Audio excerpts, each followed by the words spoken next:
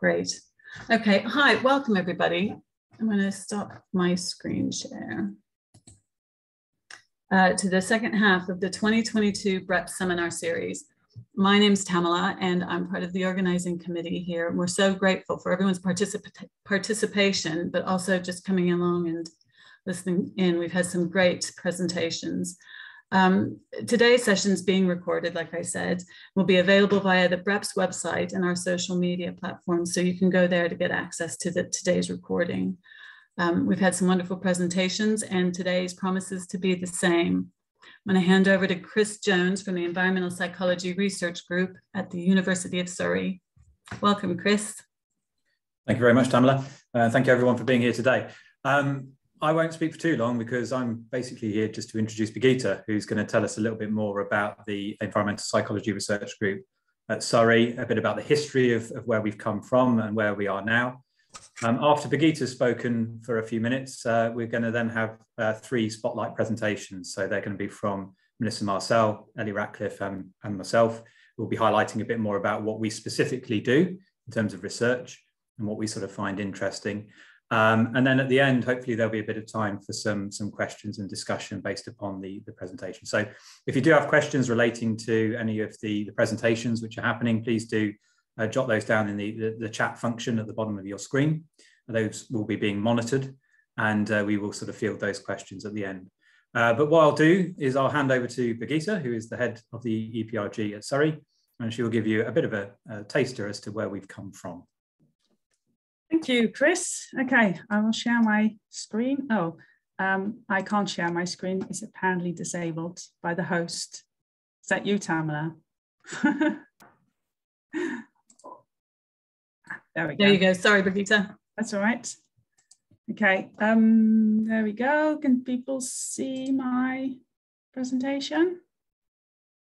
It says you can. Yes. Yep. It's not full screen though.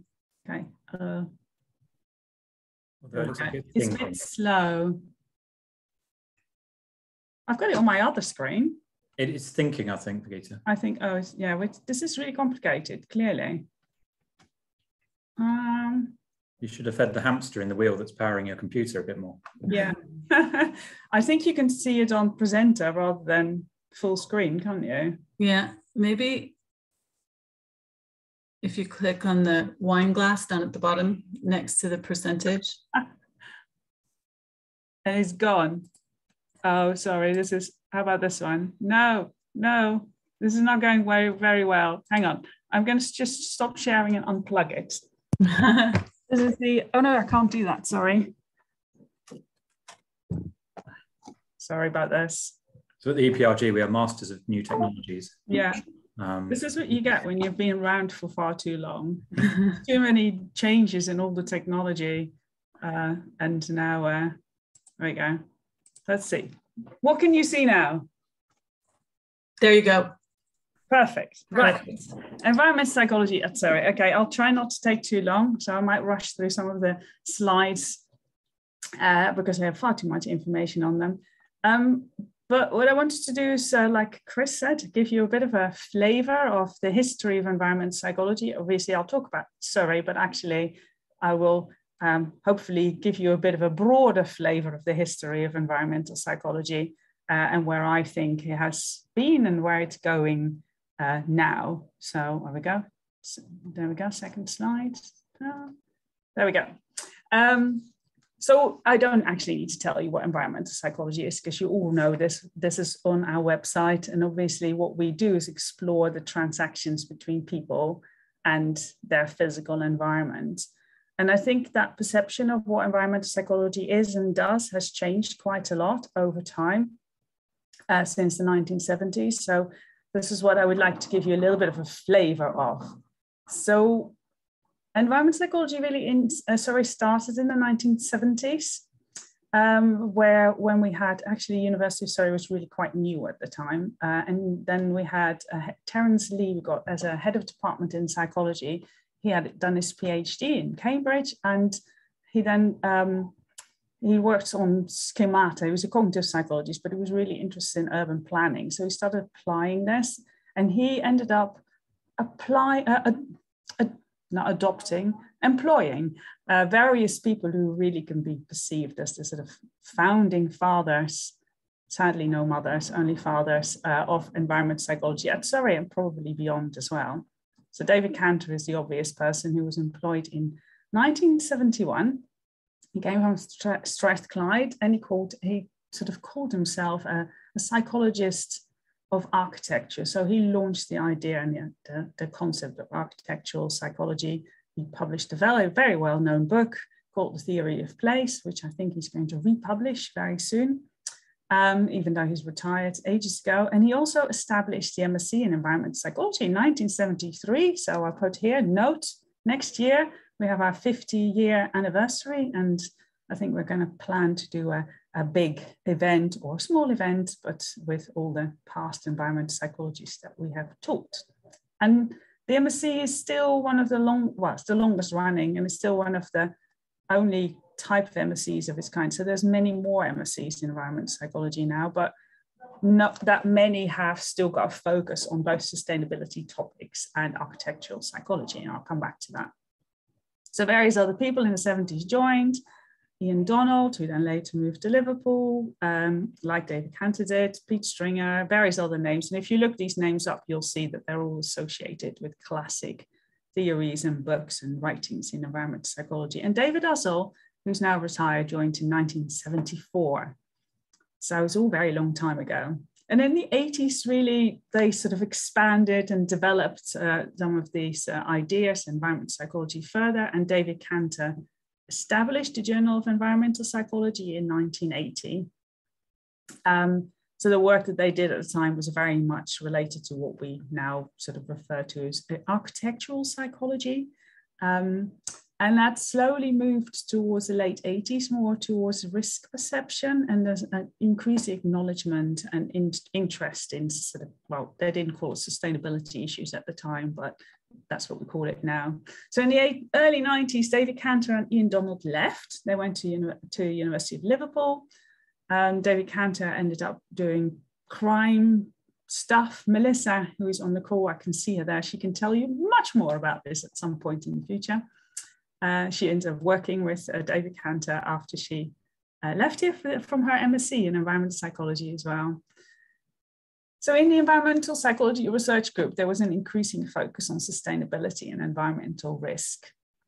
And I joined the group in 1998 on a project that uh, um, uh, was on looking at risk perception of transport generated air pollution. And uh, David also managed to get funding for uh, what was called the Surrey Scholarship. So we were working with local authority to look at risk perception of transport generated air pollution.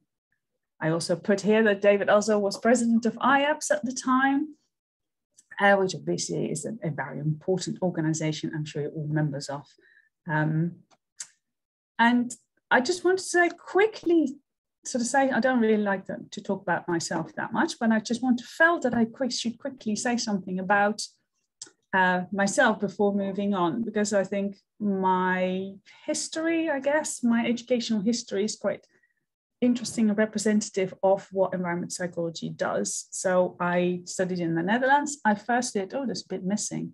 I first, oh, there we go, studied architecture in 1987.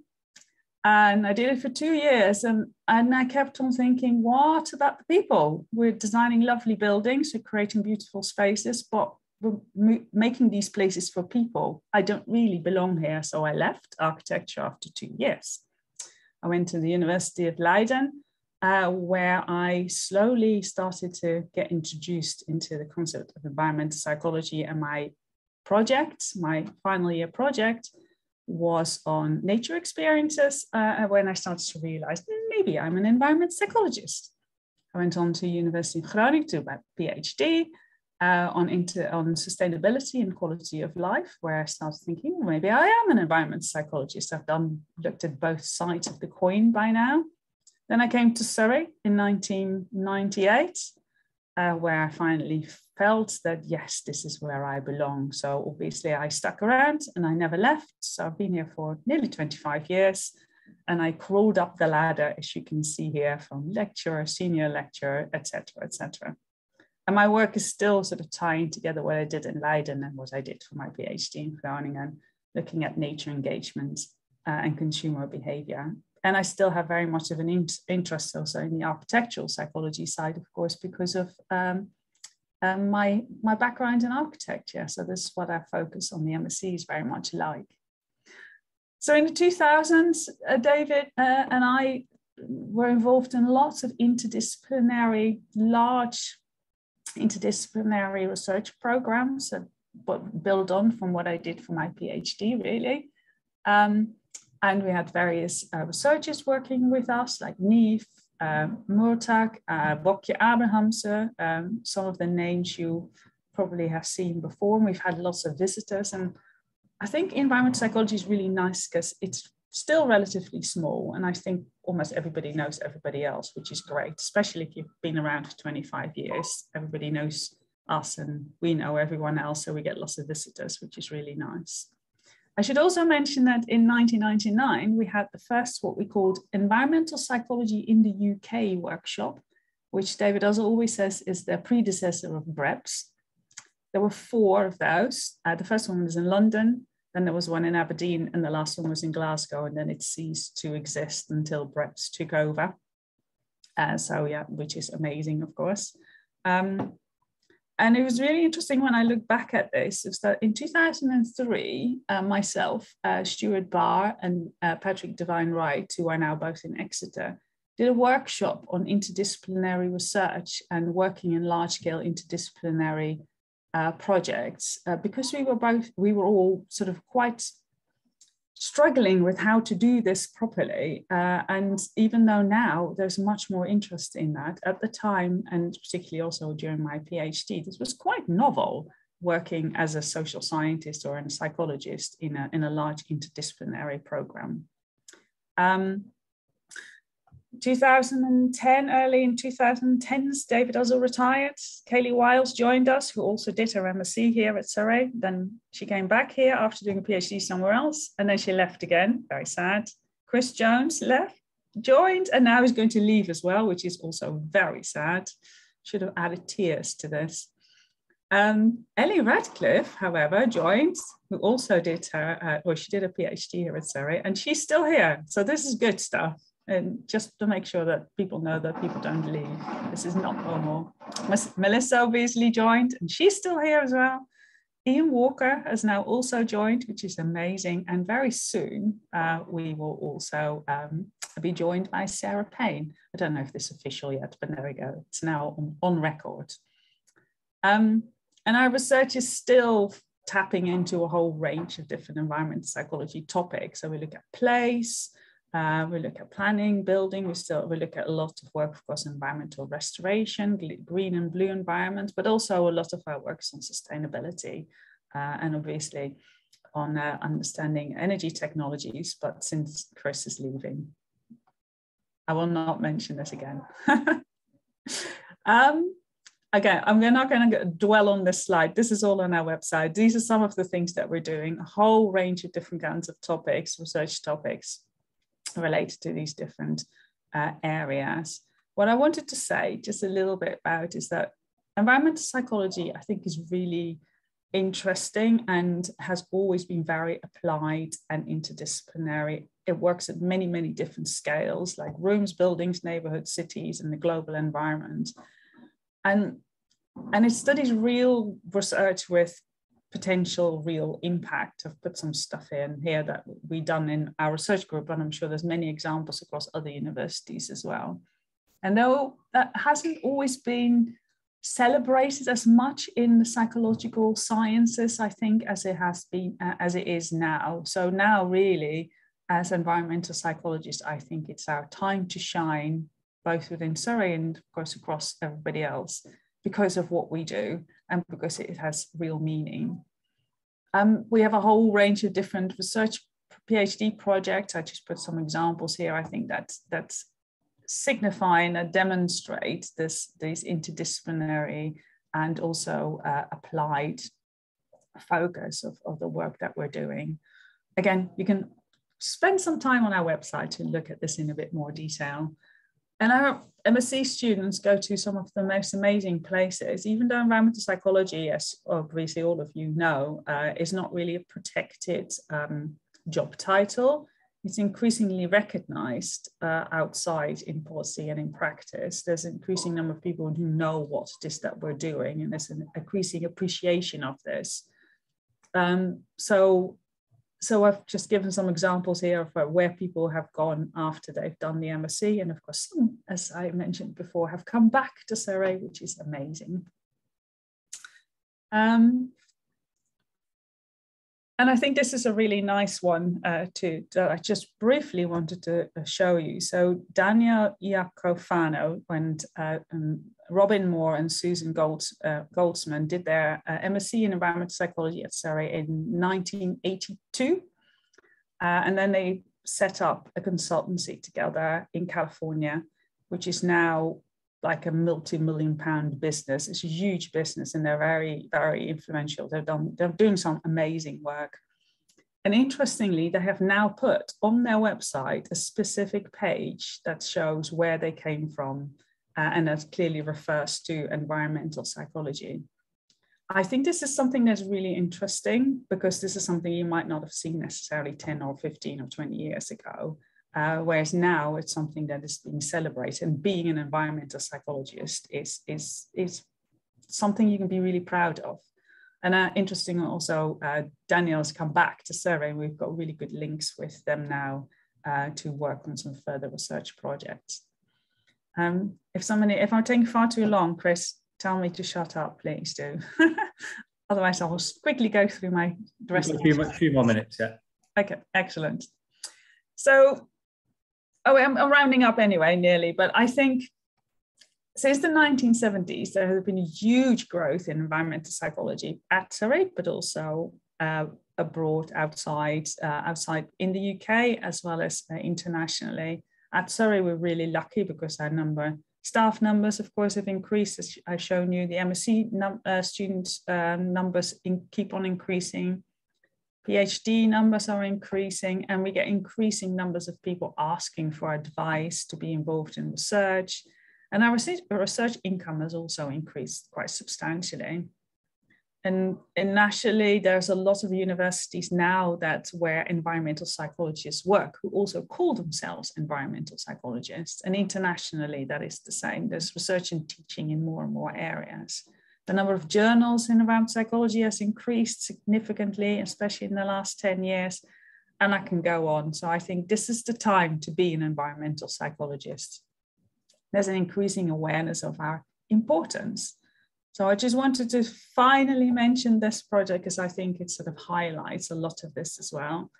Um, we've recently um, managed to get funding from the SRC to lead environmental social science leadership team in the UK.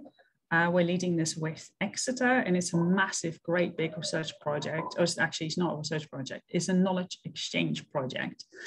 Um, and it's, it's meant to draw together all the environmental social sciences across the UK, but actually, it's quite a lot of people in there who would probably identify as environmental psychologists.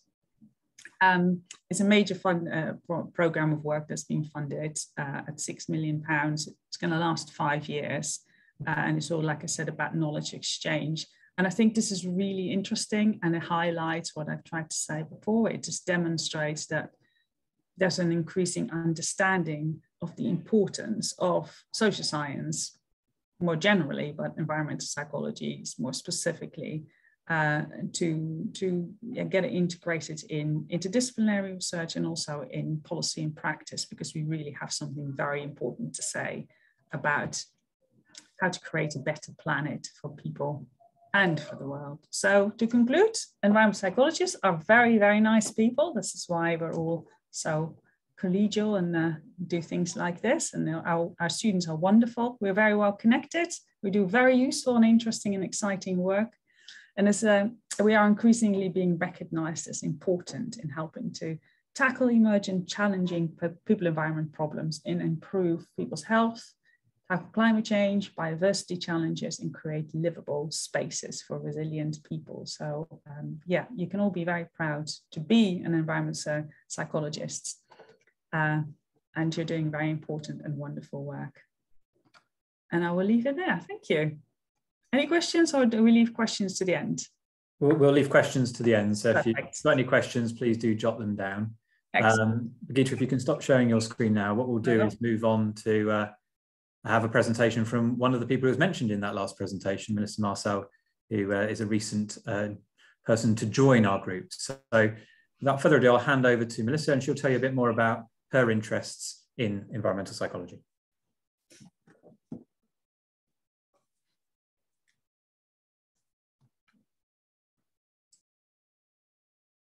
I um I need to unmute myself. so uh, can you see my screen? Yep. Yay. Okay, great. All right. So I'm um just going to talk uh, for about 10 minutes about um, the work that environmental psychology can do to address the biodiversity crisis.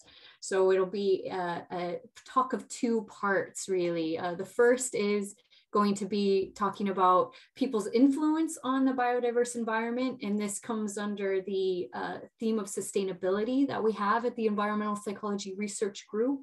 And then the second part, I'll talk about how biodiversity can influence people's health and well-being. And that comes under the natural environment research strand that we have here at the Environmental Psychology Research Group here at Surrey. So climate change and biodiversity crises are interlinked crises. Um, more and more uh, this year, we're talking about the climate and biodiversity crisis rather than the, the, the uh, climate change or the climate crisis. So they're now interlinked. Um, and that's that means that we need to tackle uh, climate change and biodiversity loss simultaneously or not at all because they impact one another. Um, and human activity is the main cause, directly or indirectly, of both climate change and biodiversity loss. And therefore, um, the solution lies in changing human behaviors to address both the climate and biodiversity crises. However, behavioral science and like environmental environmental psychology, conservation psychology, etc., is really not used in nature conservation or biodiversity um, fields. Um, 0.3% of all papers published in leading conservation journals are related to psychology or behavior change. So nature conservation, uh, biodiversity conservation journals, they're not even, they don't even know about us and what we do and what we can do for them. Um, as such, behavior change interventions for nature conservation often lack any grounding in behavioral science. Ecologists have no idea what they're doing when they design a, um, a behavior change intervention. We need to help them. Therefore, um, you have these perspective articles in uh, Nature, Human Behavior, and in Biological Conservation about how biodiversity conservation is a promising frontier for behavioral science and, in my opinion, environmental psychologists. Now, there are numerous behavior change theories that can be used to inform behavior change interventions that we as environmental psychologists can draw upon. Um, but it, it's becoming more and more obvious that you know hu- changing human behavior is really messy, and that any one theory is largely insufficient to uh, explain pro-environmental behavior. And so there's now this need for more integrative models of behavior change such as Klöckner's comprehensive action determination model. I like to use the behavior change wheel from Michie et al. at UCL.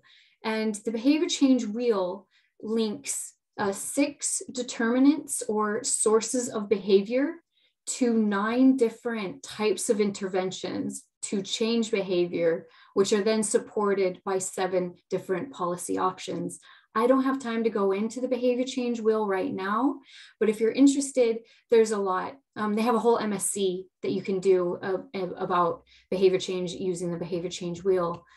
But you can use the behavior change wheel to design interventions and policies. You could use it to retrofit the, the wheel to current interventions and policies to, to identify what's inside them that then provides you with an evaluative framework to see how well interventions are or are not working.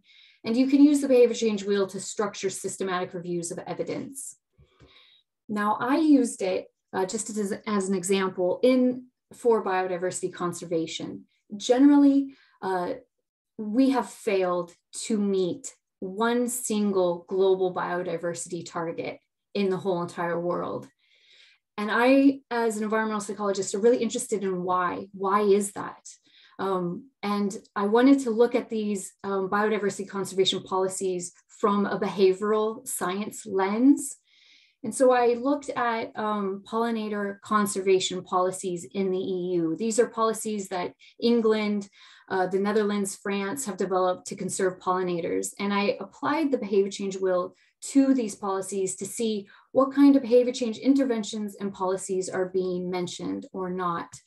And what we found was that um, in 23% of all interventions mentioned in these documents, they mentioned education. And we know as psychologists that education on its own isn't sufficient to change behavior, but they're leaning hard on it. And what we found is that none of the policies mentioned coercion, which is a behavior change um, type that creates an expectation about costs um, or a punishment in, in, in someone.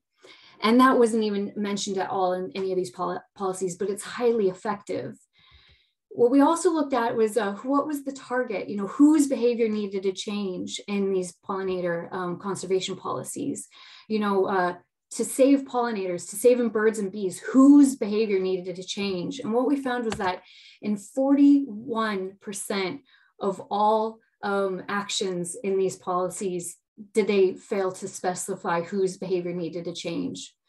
So if we're, if we're talking about why these um, big policies fail, I think we can we can start making little little changes by applying this behavioral lens because we could just say, well, you're failing because in 40% of your actions, you don't know who needs to change their behavior. Address that first, right? Um, let's move on. I'm going to talk about biodiversity and its impact on human health real quick. You, um, as environmental psychologists, will all be aware of the psychological benefits of nature. We have um, research, you know, been done since the 1980s on this, um, but less is known on the restorative benefits of nature about which types or qualities of natural environments are beneficial. Because most of the studies on restorative environments co uh, compare green versus gray right? Nature versus urban. And so i'm part of um, an expert working group where we're conducting a systematic review looking at which types and qualities of green and blue space have an impact on mental health.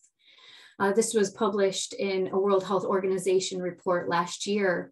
And I'll just highlight here that um, in our systematic review, we found that there were um, about three experimental and five cross-sectional studies that looked at the impact of biodiversity on mental health and well-being. So it's a small but growing research area, and there's a lot of opportunity here to look at biodiversity as a quality aspect of the natural environment on human health.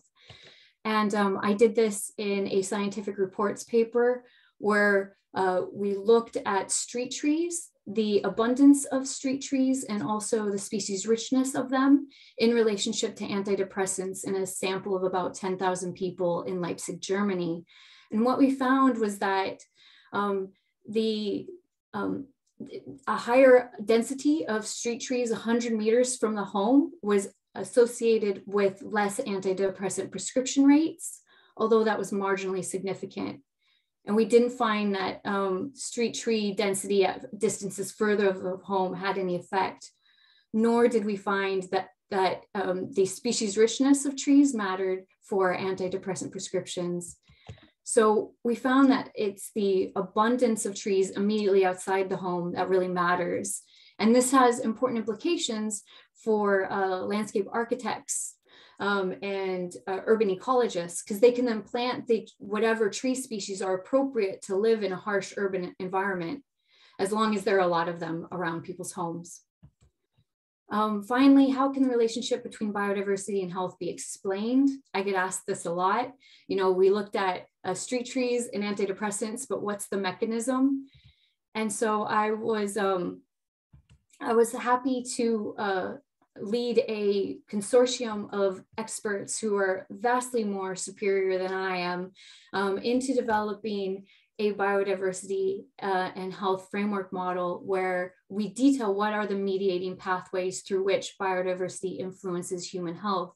I won't go into it now, but I just want to say that if you're interested in pursuing um, the, the relationship between biodiversity and human health and well-being, that um, you can use this framework model to help identify the variables. So, you know, what's the contact with biodiversity a person is having? What's their exposure? What kind of experience are they having with biodiversity? And then which of these uh, domains of pathways uh, is biodiversity influencing human health? Is it restoring our capacities like attention restoration, or is it building our capacities like encouraging physical activity and um, place attachment?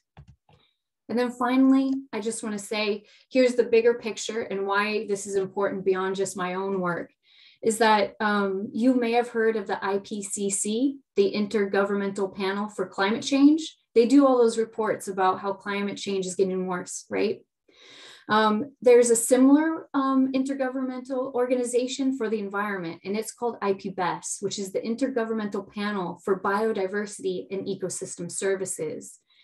And they do the same thing as IPCC. They put out reports where they synthesize knowledge about the environment. And I'm just going to highlight a bit uh, two here. Uh, one is on people and their impact on the biodiverse environment. IPBES is uh, publishing this year uh, a, an assessment of values where they look at the multiple values of nature and its benefits for people. Environmental psychologists really aren't involved in these assessments, and they should be. Um, a lot of ecologists uh, in, in people in economics are involved in the values assessment. Um, IPBES just now this year have started a transformative change assessment where they're looking at what are the causes and determinants of uh, biodiversity loss and how can we create transformative change. Environmental psychologists should be involved there. And then lastly, just launched this year as well, um, IPBES have a nexus assessment where they're looking at the interlinkages between biodiversity, water, food, and health. And again, it's an opportunity for us as psychologists to be involved. So that's it. Thank you for your time. Brilliant. Thank you, Melissa. Uh, so again, if, if, people have questions, do feel free to drop them in the chat box at the uh, bottom. That will be uh, being monitored, or you can just write them down and we can ask them at the end.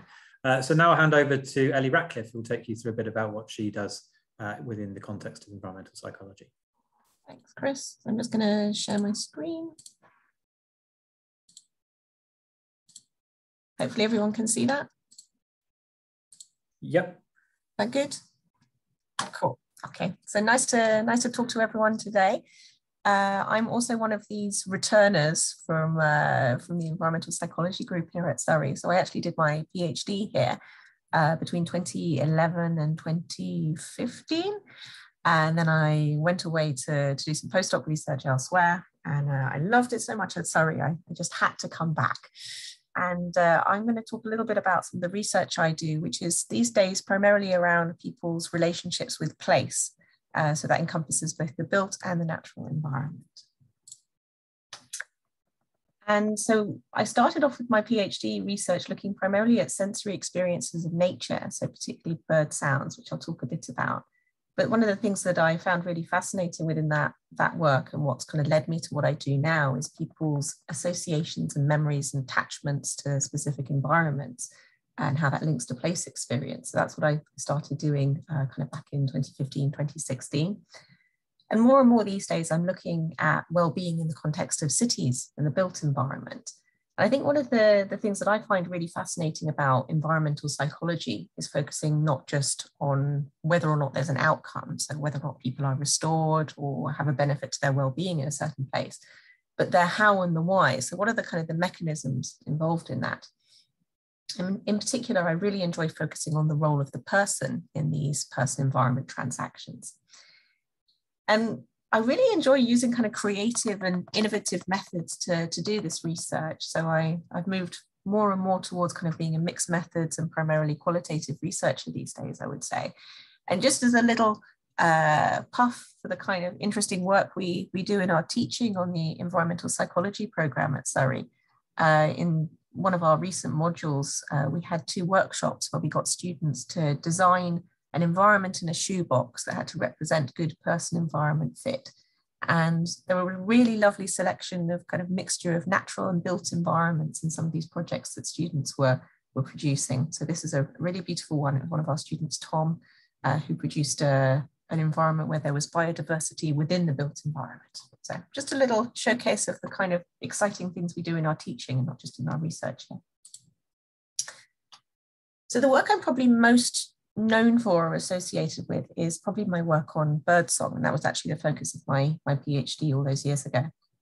And this project actually came about because I happened to see a, an opinion piece in The Guardian back in 2010, where someone from the National Trust wrote about how birdsong might be of benefit uh, to people if they were feeling down in the darkest days of winter. And I read that and I thought, this is a really fascinating idea. And at that time, there wasn't really a whole lot of research on nature sounds being restorative, especially in comparison to the abundance of work on uh, the visual uh, and the visual spatial experiences of nature. So I, I, took this kind of project idea and collaborated with the National Trust, and we kind of really ran with it. And it seems to be a project that captured the, the public interest. So there was quite a lot of media attention around this project. And it was quite productive in terms of publications as well.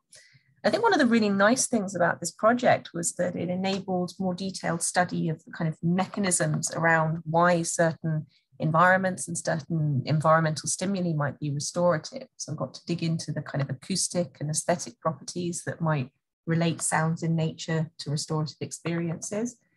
I think one of the most fruitful parts of it was looking at people's associations with bird sounds, so the, the meanings that they attach to the sounds and the memories with particular places and particular people. And that's really kind of the philosophy that's driven my research ever since how do people's interpretations of environments relate to and inform the, the benefits that they might get from them. So this was a, a lovely project. I don't do so much research these days around birds, apart from throwing out the odd literature review.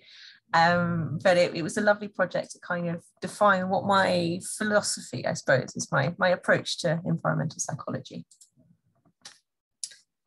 from there, I, I did uh, a year and a half, nearly two years of a postdoc uh, position in Finland with a colleague and a good friend of mine, Kalevi Korpela, maybe some of you you know or know of his work. And together we were in, really interested to examine um, more around this idea of people's interpretations and associations, not just with sounds, but with wider places, so particularly favorite places, and how that might inform the restorative value that people find in those places so we published a few publications uh, looking at how people have particular memories, so particularly relating to time and themselves, their self-identity over time, in the context of their favorite places, and how people having those memories might make them more attached to these places in their lives.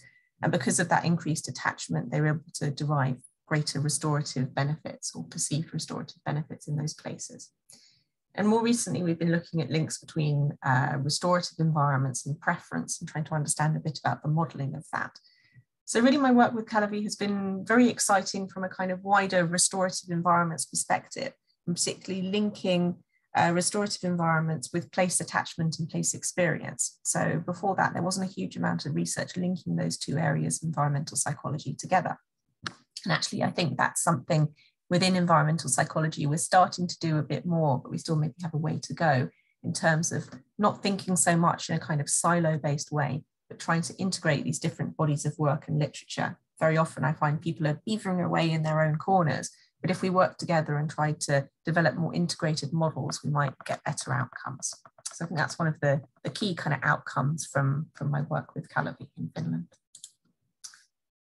But we haven't finished there. So this work on place attachment and restoration continues because uh, we have uh, Tamala Anderson in our group. So I'm supervising her PhD and she is one of the, the co-organizers of BREPS. Uh, she has been continuing this work on place attachment and well-being and restoration. So looking really very much at kind of the how of how place attachment develops and how that might inform well-being outcomes. I think one of the really great things she's doing in her project, and I hope Tamala doesn't mind me giving a little plug to her research here, uh, is that she's integrating this with the applied context, so how planners uh, and policymakers implement uh, understanding of place and place attachment and its links with well-being. So she's currently doing some really interesting research, analysing policy documents and planning guidelines. And uh, she's also very keen, I know, on open research. And in fact, Tamala won a, a wonderful prize uh, for her poster in our uh, University of Surrey Open Research event quite recently. So in addition to being a great PhD researcher, she's also very design minded, which is again, one of the lovely things about environmental psychology. We can integrate design and psychology. And the work I do on place attachment and well-being and restoration is very much embedded within the work of uh, another research group who I still cooperate with. So this is the EnviWell group based at uh, Tampere University in Finland, where, where Kalevi is still a professor. So together we have kind of a collective of people who are interested uh, not just in restorative environments and environment and well-being, but favorite places and place attachment. And often that includes the urban environment as well. So I wanted to say just a little bit briefly about a recent paper that together we published at the end of last year in Journal of Environmental Psychology. So this was led by our colleague Mikel Subiza-Pérez, uh, and we also had contributions from uh, Tytti Pasanen, who's in Finland, uh, Kate Lee from Australia, Anna Bornioli, who is currently working in the Netherlands, uh, so is Jessica de Bloom, and led also by, by Kalevi Korpela, again in Finland. And what we were doing here is trying to understand people's experiences of favorite places, specifically in urban environments, so the cities in which they live. And this was in Finland, the Netherlands, Spain, uh, UK, where else did we have, and Australia. So across these countries, we collected uh, just over nine, data from just over 900, uh, primarily kind of young people, emerging adults, around 18 to 25 years old. We asked them to identify and describe two favorite places in the city or town where they lived. So one was indoors and one was outdoors. We had people rate these places on how restorative they perceived them to be, the extent to which they were attached to those places, and also we included another a number of other affective appraisals and, and variables that I won't cover here. But one of the really interesting findings from this study is even though we found kind of typical pattern of results that outdoor places were rated as more restorative, we found that this related quite a lot to people's identity as a person. So if the person was uh, a highly nature oriented person, then as you would expect, they rated their favorite outdoor places more restorative. But there was a significant minority, around one third of the sample, who found more restoration in their favorite indoor place. And those participants tended to be the more urban oriented of our sample. So they were more inclined to identify with city environments. So I think this really shows the value of looking at person factors in study of environment and well-being and moving away from this idea that there's a one size fits all, nature is good for everyone kind of approach. We need to consider what people want and how they identify in terms of their environmental orientation. And in both cases, we found that place attachment was a significant predictor of restoration and restorative perceptions, both indoors and outdoors. So again, this role of people's attachment and bonding to place being important. Maybe we it's not enough just to say this one generic type of place is good for people. We need to think about their personal connections and associations with those places. And I'll talk just briefly to finish off about uh, another project that I've been working on, which is much more applied. So it's about community empowerment, but it really has a, a lot of links to environmental psychology as well. And this is based uh, in around a, a, particular street called Southway, which is in Northwest Guildford near the university here. And it suffers from some physical environmental signs of neglect. So there are issues around littering and parking, maybe neglected areas of planting as well. And I started getting involved in this project to see if maybe there's something we could do with the community to change the physical appearance of the street. So we started off on the project in that particular direction. But through immersing ourselves more and spending more time on the project, we've actually understood that the real issues for the community in this area are not really around how the street itself looks, but it's around kind of relationships, people's sense of agency and empowerment, and the resources that the community has or, or they don't have, in fact, to, to feel like they have some kind of uh, positive impact on the environment. And so something we started off with, well, the idea that we started off with was doing some kind of physical intervention to improve the street. But the longer time we spent on this project, we realized that that's not really going to lead to sustainable change. Maybe we need to spend time working with the community, understanding what their needs are, and giving them the resources and helping to develop more positive relationships. So the first step we've, we've done in this regard is that we ran, ran a, a kind of world or collaboration cafe uh, just a couple of weeks ago where we invited uh, people from the community, kind of people who are in positions of leadership or uh, wanted to advocate for their community, to discuss what could be done to make things better, not just in terms of the physical street environment, but in terms of their local community. And what we identified is that there's a lot of really good people and really good ideas going on in the in the community and in the area of Southway, but there's a bit of a lack of direction. People don't know who is doing what. And so instead of simply doing a physical uh, intervention like planting trees or creating some kind of, you know, art installation, we've discovered that actually maybe we need to help community networks and empower them to develop uh, clearer relationships between each other. And so this project has kind of evolved from a very physical and environmental approach to more of a kind of community psychology project. And that's quite new for me. That's not really an area that I have so much experience in.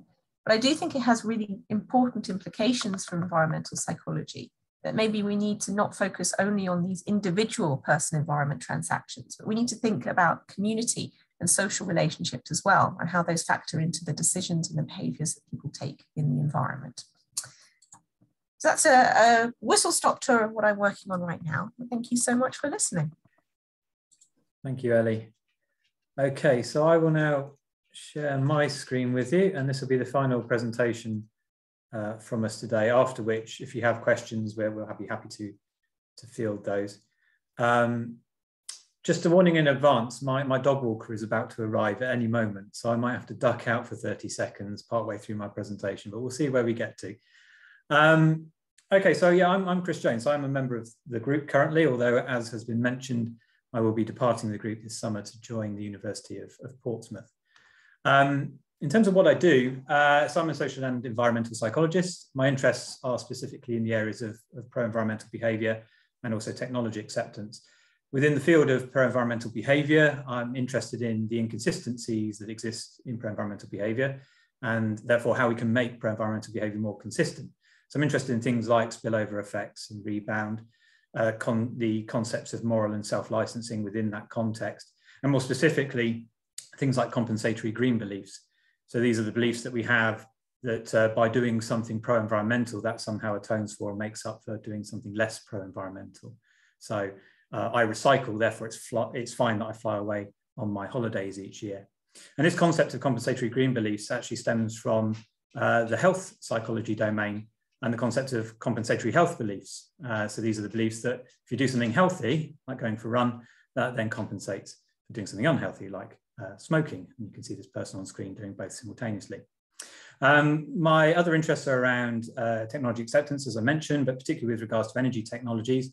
And I work on both sides of the plug socket. So I'm interested in supply side technologies and people's perceptions of power generating infrastructure. Uh, so I've done work around nuclear fission, energy storage technologies, wind power. I'm working uh, with the Eurofusion project currently as well, looking at people's perceptions of, of nuclear fusion as a potential energy option uh, and working with novel technologies like carbon capture, utilization and storage. But I also work on the demand side as well. So I'm looking at some of the technologies that may help us to live more efficient lives and reduce air, uh, um, energy demand um, uh, within uh, consumers. Uh, and within this space, I've been doing work uh, looking at people's perceptions of smart technologies and smart homes more generally. Um, so you can see on screen a little bit about my history. So I trained at Sheffield. I joined Surrey in 2017 as, as has been mentioned, I will be sadly departing to Portsmouth uh, in the summer. Um, so I'm going to tell you a bit more about the work that I've been doing around smart homes and smart living. Indeed, the concept of smart homes sits within this broader context of smart living. Uh, what is smart living? Well, this is about trying to uh, give people the opportunity to live differently and hopefully live better. So a large number of innovative solutions coming along, which imply the adoption and use of technology that this adoption and use of technology should make our lives more efficient, more controllable, should have burgeoning economies, more productive societies, and more sustainable societies as well. And this concept of smart living will sort of transcend uh, most aspects of, of our lives, from how we live within our homes to how we work at our workplaces and how we also move between our home and our workplaces. Um, so ultimately, smart living is going to try and improve standards of living um, while striving for increased efficiencies, uh, having beneficial effects on the economy and reducing our carbon footprints. So this is, this is all good stuff, hopefully, but it does imply the adoption and use of technologies and associated with that, a willingness to share data, because it's only by sharing data about how we live our lives that we can hopefully seek to improve how we live our lives. And so smart living implies the adoption and use of technology and a willingness to share data. Now, within the context of smart living, we have this concept of the smart home. What is a smart home? Well, definitions do vary, of course, but what we're talking about uh, in principle is a kind of convenient home setup where our appliances, our devices are all automatically controlled by the environment or can be controlled by uh, residents remotely uh, using uh, mobile phones or other inter internet connected devices. Uh, so effectively you can get your phone or your iPad and you can control aspects of your home, ranging from anything from your sort of security systems through to your temperature, your lighting, and so on and so forth. So you can see on screen there a picture of a, a smart home illustrating some of the things which might actually make up that smart home environment. So controlling these security systems, the lighting, the energy management, and so on and so forth. And indeed, there's a lot of evidence of the smartification of homes already happening. So a number of you probably have an Alexa at home or something along those lines, or have maybe invested in a ring doorbell, or maybe have one of these sort of smart uh, thermostats like a hive or a nest. So these are things, these are technologies which are connected and which will hopefully help us to control our internal home conditions in order to make them more efficient or make them more healthy, or just to make living our lives a little bit more easier. Now, at the University of Surrey, we are working to demonstrate a new smart home technology or a new smart, smart home product option with a, a company called uh, My Global Home. This is an Innovate funded project. So My Global Home have got this, this new concept for a smart home, which is a modular smart home. So it's smart in as much as it's all interconnected and you can control the, the heating and the lighting and the blinds and so on and so forth from a mobile phone. And it's modular in as much as the internal space is flexible. So you can actually change the internal configuration of the space in order such that it meets your, your changing needs as a resident within that space. You can see some pictures here on screen of what it looks like roughly. It's a bit like an IKEA showroom. Um, the, the, picture in the middle there is quite interesting. So this is the central trunk of the, the housing unit. Uh, it can be used for any number of different purposes, but the one that they have demonstrating currently is as a kind of a home cinema space. So this is quite a funky sort of new look um, uh, building concept. And it is also predicated on being digital, being connected, but also being sustainable. And we are working with this company in order to test the technology, both in terms of how people think about the prospect of living in one of these homes, but also looking at some of the engineering questions around, well, well how does the air quality change within these spaces when people are using them? How can we ensure that the air quality remains within healthy parameters? And we're also looking at, well, more broadly, what leads to demonstration technologies like this, this My Global Home product, uh, succeeding in the marketplace or what leads them to maybe fail. So we're doing a number of different things within this space, but my, my role in this project, and Ellie and Birgitta are part of this as well, is looking at sort of consumer perceptions of smart home living and more specifically this particular product option.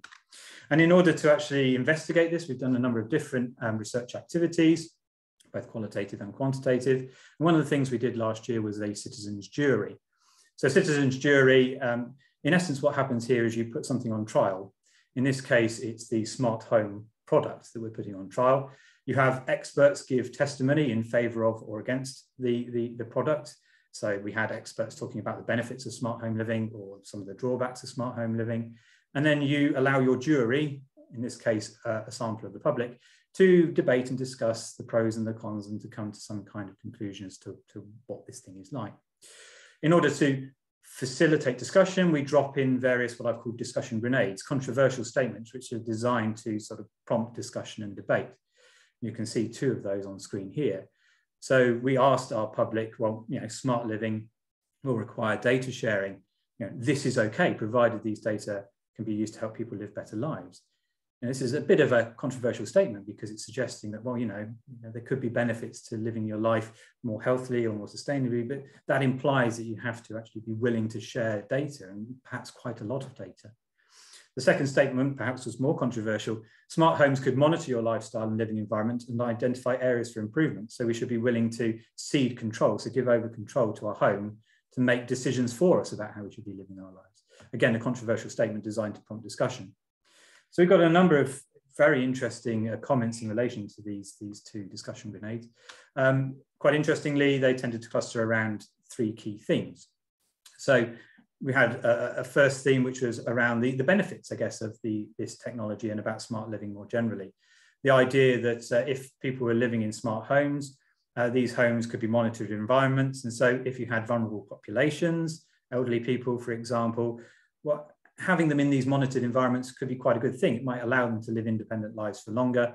You, know, you could monitor the situation remotely. And if things were going wrong, well, maybe an alarm could be flagged, or maybe you could um, act to intervene in order to help. So, you know, this assisted living concept came out as a positive side of, of smart living and data sharing associated with it.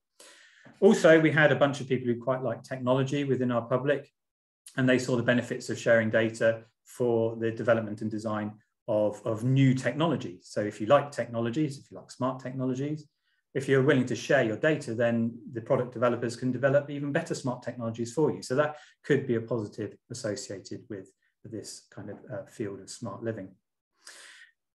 This was, though, traded off with some more sort of um, trepidatious comments relating to things like data ownership and the need for governance. So there was a sense that, well, will smart home companies and the companies affiliated with them, well, what are they going to do with the data? Who owns the data? Is it the consumer? Is it the resident of these places who owns the data and thus has control over it? Or is it the smart home company? And if it's a smart home company, well, what are they doing with those data? Are they going to be using them for nefarious purposes or what have you? So these discussions about data ownership led to discussions about the need for regulation and governance within the sector the importance of having sort of government oversight over the sector and what have you. Finally, we had a third theme which related to these issues of trustworthiness, transparency, and data quality. So again, mapping to that concept of data ownership um, and who owns data, who controls data, there was a sense that maybe smart home companies wouldn't be that trustworthy. Uh, you know, how can we actually trust these, these companies to use our data for, uh, for the public good or for the good of the, the, the consumers rather than looking out for their own bottom line. This led to a desire for transparency, transparency around agreements over data sharing and consent processes, bearing in mind, of course, that as technologies develop and are deployed in, uh, in smart homes, the things you signed up for when you first move in might not be the, the, things which are there, you know, a year after you've moved in. Maybe the technologies have evolved, maybe the kinds of data which is being collected has evolved. So maybe we need greater transparency around these consent processes and an evolving consent process uh, processes in order to sort of keep up with the technology. And this then maps to this concept of data quality as well. There was a sense that, okay, so it's all right to share data or some data some of the time, but it has to be for relevant purposes. We shouldn't have a situation where a company is just collecting all data all of the time and is not really using it for, for useful purposes. So that was an interesting discussion around the, the kind of the quality of the data coming from uh, uh, smart home living.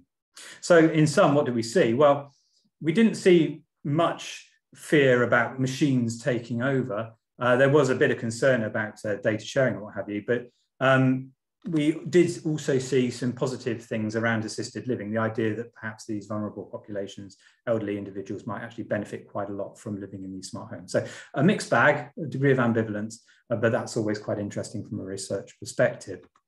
And finally, just to end, why is this important? Why am I researching these kinds of things?